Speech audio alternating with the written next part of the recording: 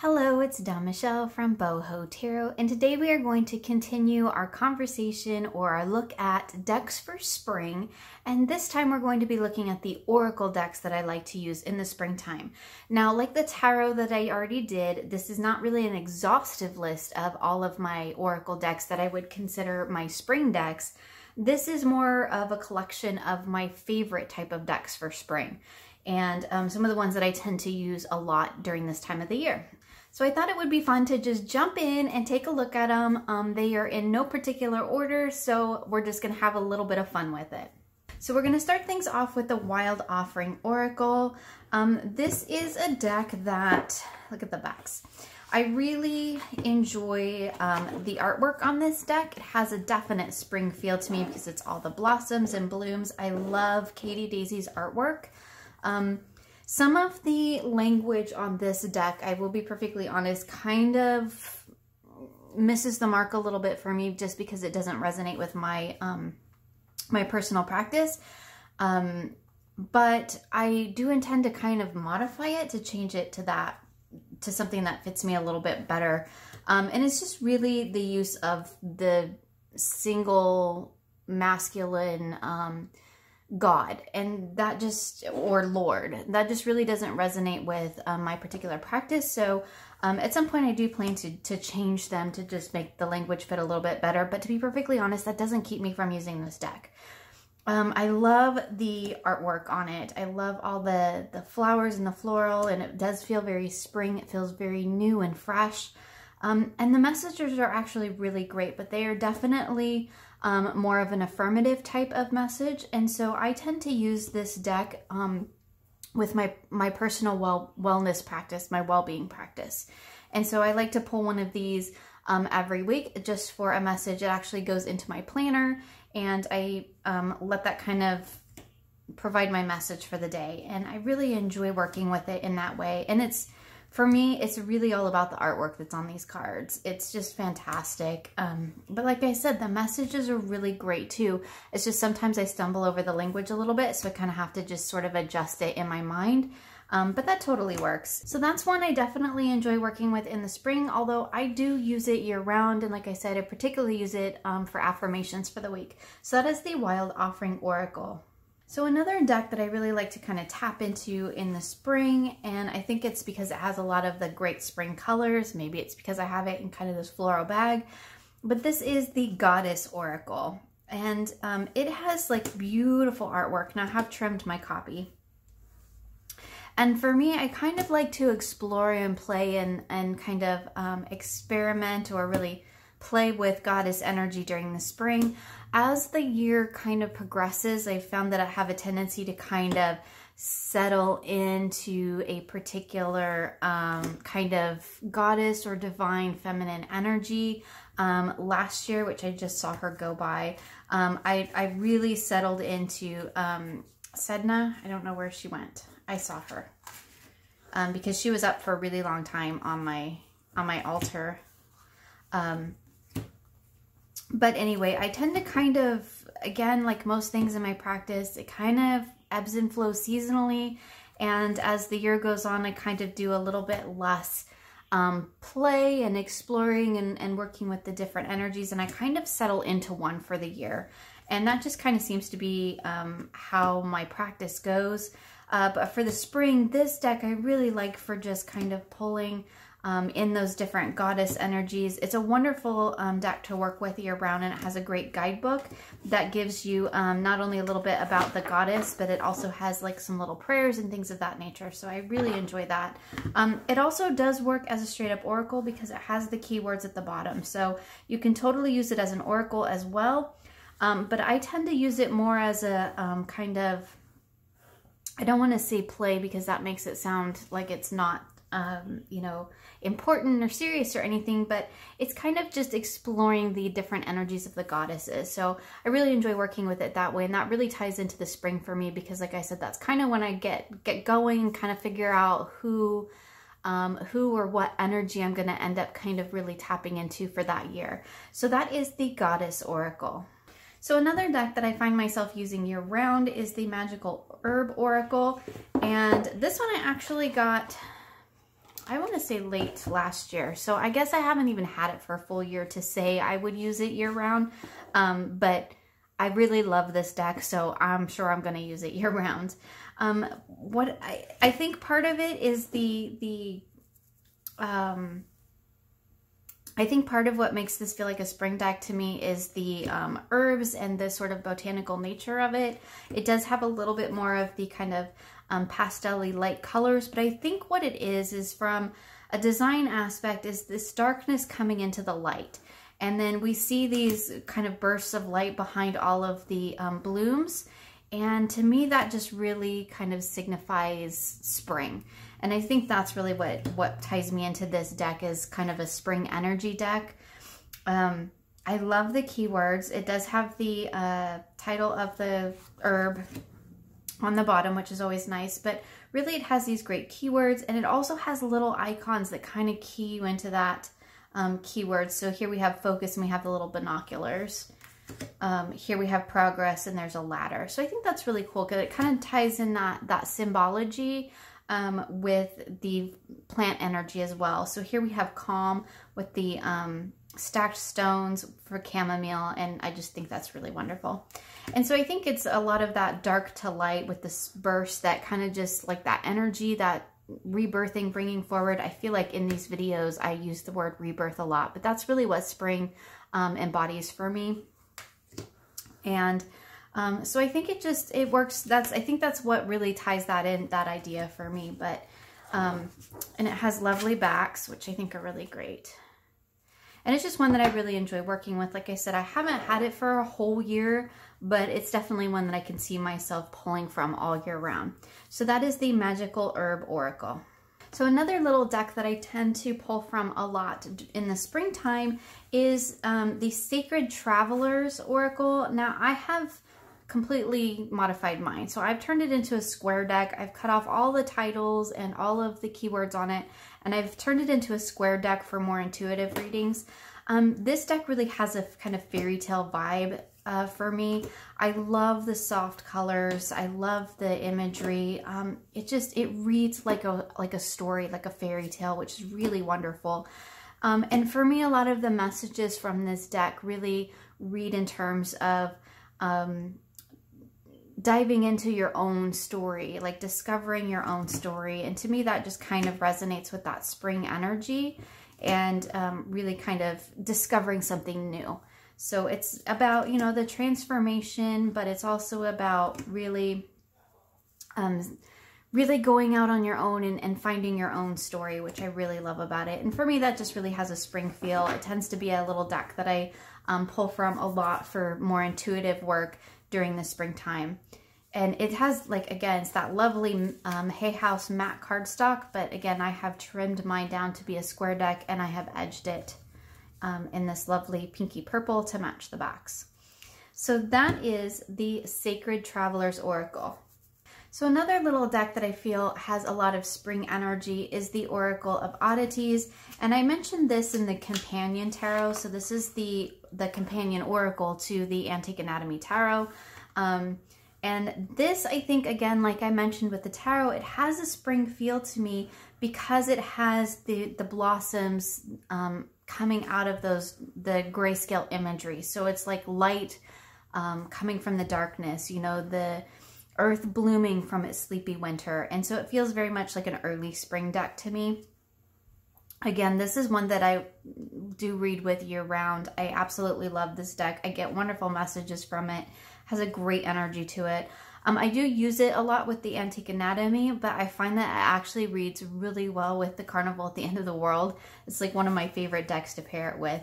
Um, so I think this is the first indie deck that I've shown. Um, I only have three here, three indie decks that I'll be showing you, but it has the beautiful backs. It was out of print for a while, but it's back in print and being sold through a couple of different retailers, so I'll try to um, be sure to link that in the description box. But it's just a lovely deck. I love the energy of it. And again, it has that early spring, that like, um, you know, the earth blossoming from the dark slumber, which is really beautiful. So that is the Oracle of Oddities. So while we're talking about indie decks, this is my Sacred Creators Oracle. And I think that this one for me, um, the spring pull is really the color palette. It has all those wonderful pastels. Um, this is a deck that I actually really enjoy working with. I actually got it to work more um, for business type readings, but I actually find that it works really well um, for the more sort of spiritual cosmic connection type of readings for me. Um, and it it pairs beautifully with the Moonchild. That's like one of my favorite decks to to read with this deck with. Um, the messages are really um, lovely. They're to the point. They're very creative. Um, I like the little icons. And again, the the um, color palette in the deck is amazing. And it does have really great, simple um, messages. This one is one of my favorite cards, The Sacred Flow of Yes. It's just really beautiful. You are living poetry. Um, this would very much, I think, work also um, as an affirmation type of deck if you wanted to work with it that way. And it also kind of gives you some things that like, they're kind of actionable. Like here, befriend the word polarize. Um, bravely market your magic. Like there are kind of actionable things that you can find um, in this deck, which I really appreciate. Here's find your sacred flow. So if you were doing like a tarot reading and you wanted to kind of like wrap up of like, well, okay, that's great, but what do I do now? Um, this would be a great one to turn to to kind of take you to that next step. Like, what do I need to do next? And it's beautifully produced. Of course, we all know it's, you know, by Chris-Anne, has the gorgeous backs, um, has the lovely matte gilding, which is which is nice, and has a great cardstock. So it's just a lovely deck, and I like pulling it in. But again, it has that spring energy, I think, for me, mostly because the color palettes and um, because it has those kind of like um, kind of transformative kind of growth messages that I think um, really really key me into that spring energy. So that is the Sacred Creators Oracle. So another deck that I really love for spring is the um, Nature's Whispers. I've actually put this one back in order because I was doing something with it, but um, again, it has like those gorgeous pastel colors. I'm not going to get it out of order because I have something that I'm doing with this deck. Um, and I love the artwork. Like this is a wonderful deck for path working. And that's one of the things that I really like to do with this deck. And in fact, the reason that it's in order is because I'm path working my way through the deck. So I'm doing them in order and kind of path working my way through the cards and as like a story. Um, and the, it's just really it's all about the images for this. This transports you to another world. I honestly don't pay any attention to the keywords and the only reason i have not cut this these borders off is because i'm working my way through the cards so i need the numbers on them right now. But um, i think probably when i'm done with that process i'm probably just going to to cut the bottoms off and just make them beautiful art cards. Because like i said the way i work with this deck is not as an oracle but as a path working deck um, however, I think you could definitely use it as an oracle. The little book that comes with it is actually really nice and it has some great information in it, some great messages. Um, and I think the, the keywords at the bottom are totally fine. It's just for me, this deck is all about these images. It's all about this artwork, which is just absolutely gorgeous. And I, I love working with it in that path working type of way. And so that's the reason it's still in order and, or I put it back in order and um, that I haven't taken the titles off yet. So that is the Nature's Whisper Oracle. So another deck that I tend to be drawn to use more in the spring is the Empathetic Oracle. And for this one, it again is not so much about the artwork, although I do think that it has some kind of spring-like images.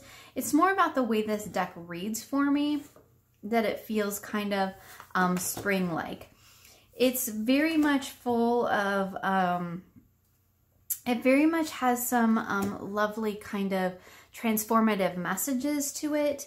And I think that's really what keys me into the kind of that spring energy. Um, to be perfectly honest though, I do actually use this one in the summer as well because it also has a great energy for that. And occasionally I am trying to work my way through all the seasons with my decks um, in terms of showing them to you. And so we may have a couple that we see um, get repeated because there are some decks to, that to me have kind of um, more than one seasonal energy to them. And this is probably going to be one of them that'll show up as in the summer as well. But It also has a very transformative energy, which to me is very indicative of the spring. And I just, I love the artwork in this and it has great, um, great messages. The little guidebook is really wonderful too. And the um, artwork is just beautiful. And it is a, believe it or not, it is a red feather Schiffer. Um, red feather Schiffer, yes. And it has lovely matte cardstock and it has shiny gold gilding, but even though it's this shiny gold gilding, it doesn't it doesn't bother me. It's still here, right? I haven't taken the borders off. I haven't taken the gilding off, although as you can see, my edges are really chewed up, but um, it shuffles beautifully. And I think that's one of the reasons why I just haven't touched it yet because, or haven't modded it yet because I haven't had any tactile issues with it yet. So I haven't really felt called to mod it yet, but that may come at some point.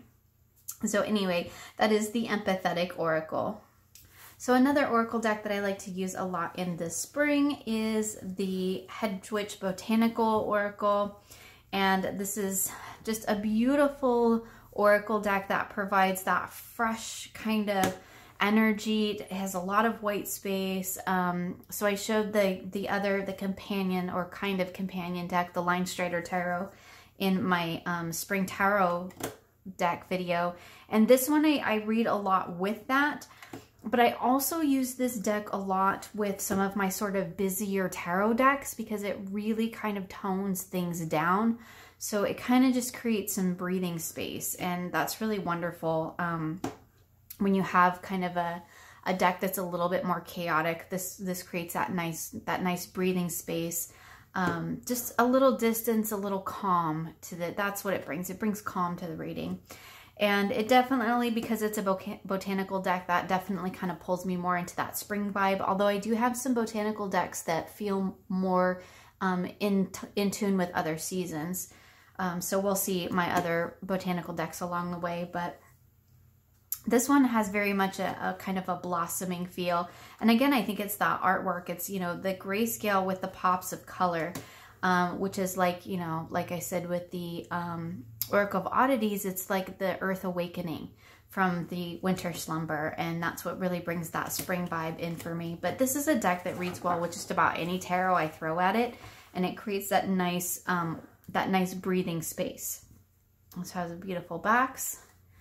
And um, it does have the thinner Llewellyn cardstock, which is really flexible, which I know some people don't like, but I absolutely love because it shuffles like a dream.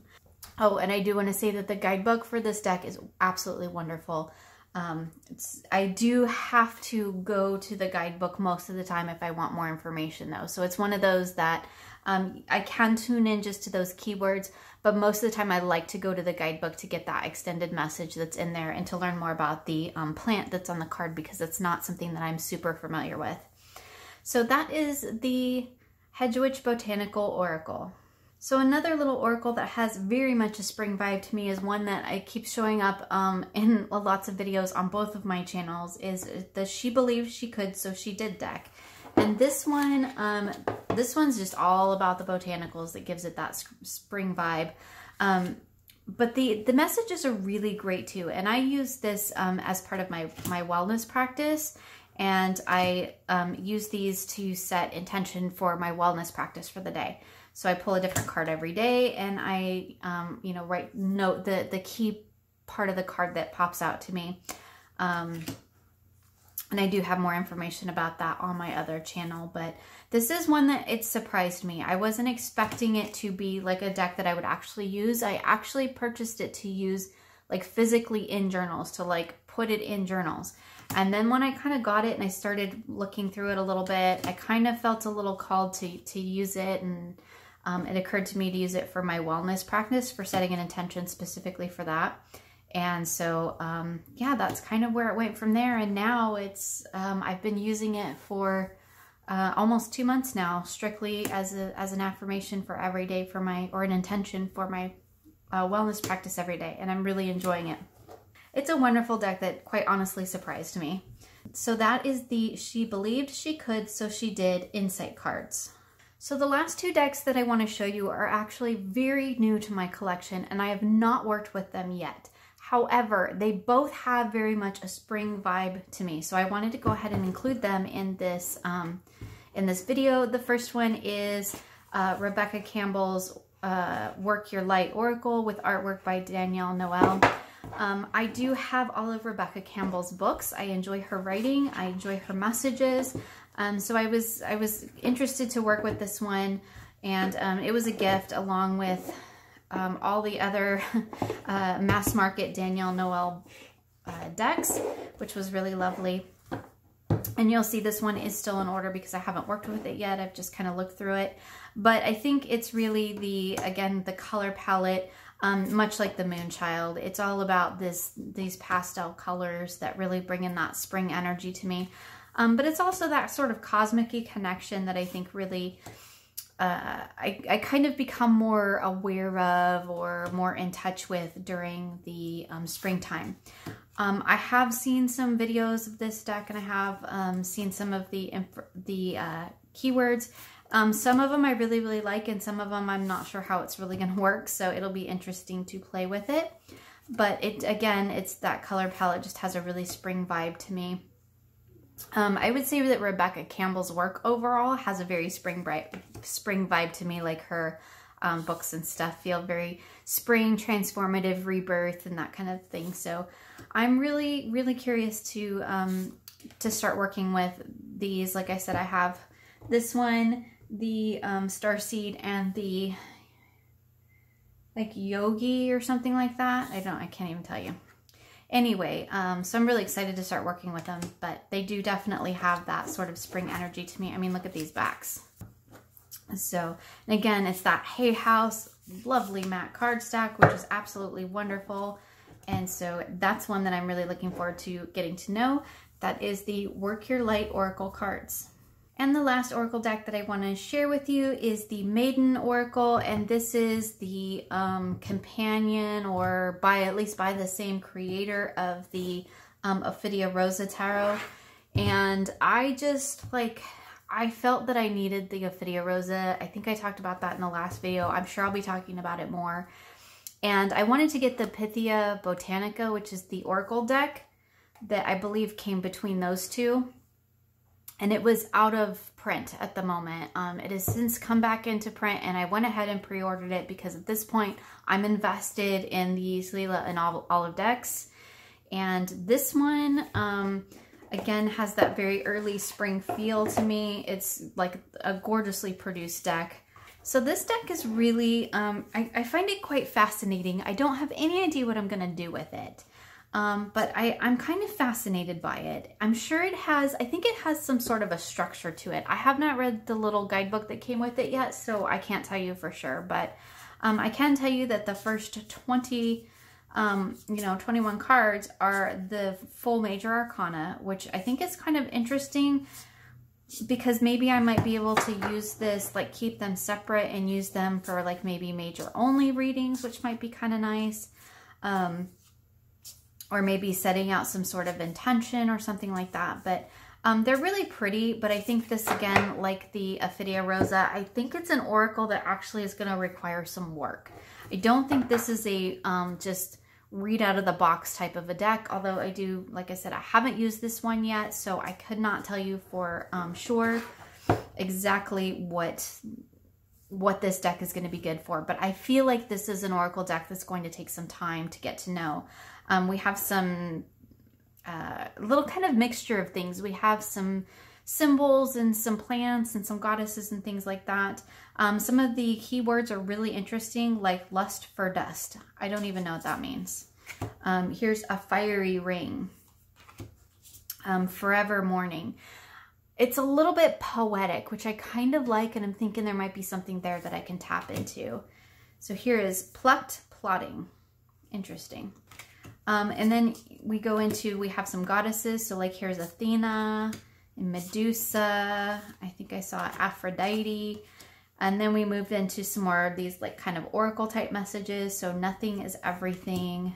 Others wishes, go around, unforgettable. I mean, it's just kind of fascinating. I love this one. This one I think is my favorite card in the whole deck. It's little mushrooms. It says in threes.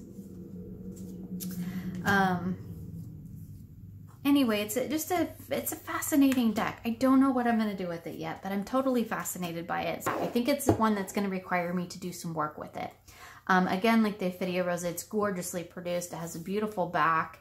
Um, the backs are, of course, not reversible, but it is an oracle deck, so um, I don't read reversals either way, so it doesn't matter for me. But it's got that beautiful matte gilding, that lovely um, matte cardstock, which is just lovely. So that is the Maiden Oracle. So that's a look at some of my favorite Oracle decks for spring, along with a couple new ones that I have that I feel like are probably going to have very much a spring vibe for me. Um, I would love to see what your spring Oracle decks are, so feel free to do a VR or let me know in the comments below.